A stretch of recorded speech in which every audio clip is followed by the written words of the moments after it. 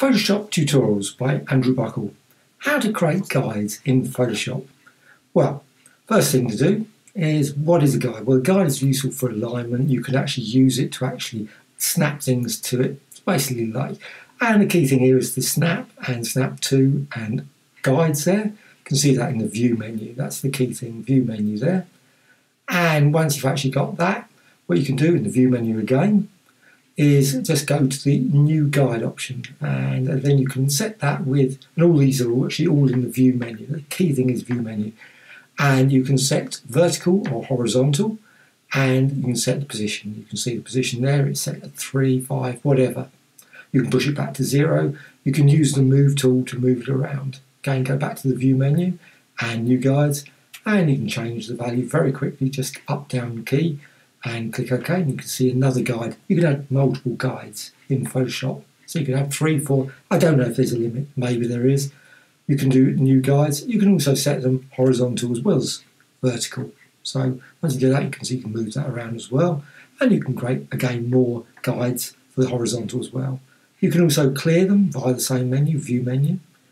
And once you've done that, what you can do, just go there again, view menu, and new guide layout. Well, this one's quite useful. creates a uniform guide. So instead of just creating a uniform guide yourself, you can just use this. You can set the gutter, you can set the width, you can set the numbers of columns, also the numbers of rows. You can just, of course, use columns without rows. You don't need that, or rows without columns. You can increase the numbers again just by using the up down or just typing the number in. And again, you can modify the, you can see the columns there as well, changed. Now, there's a great clear existing guides. You can, of course, remove the existing guides. So if you've got some existing guides, then they can be removed. There's also presets. You can also load presets and save your own presets. So if you've got your guides, you've created them, you're happy with that, you can save that. Yeah, you can save that one. Obviously, you've got the lovely eight on there. You can clear them again just very quickly. Also, you can just add some new ones as well. Again, you can change the settings. You can see the settings there. Again, click OK or clear it, and you can see now you've got even more guides. I say there maybe there's a limit, maybe it's 100, 200, I have no idea. I've never seen a limit actually appear, so I can, uh, I'm not really sure about that. And you can clear it all down. Go. Also, you can modify the width, so you can actually set the width, so you can say like two centimeters, etc. So every, every two centimeters instead of spread over. You can also centre them, so you've got you can see now the gaps. There's also a margin feature which I don't actually show in the video. There's a margin which adds a sort of like border around the edge thing with guides again. Again, you've got that clear guides. Final one of all these things.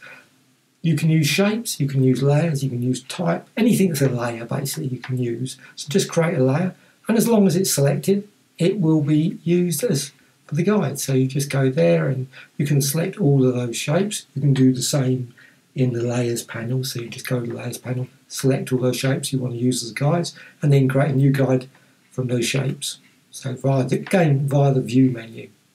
So once you've actually done that, you can see the, the guides there. They're just all based on the bounding box of the designs there. And of course you can move the actual shapes. So if you move the shapes and then create do the same thing, it will create a whole new set of guides again.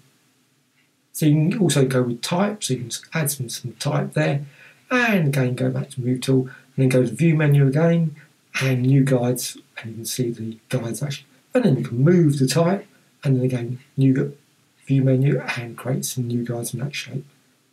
And you can move around. You can see then once you've done that, you can see it just snaps to it as you move around. You can just see it just sort of clicking in into the position, and you can use that obviously with maybe a shape tool, rectangles, etc. Whole range of different tools. Just go over there and you can see, just quickly drag that over. It doesn't have to snap to the whole thing, it just, it just gives you a sort of guide to the thing. So, right, just go down possible.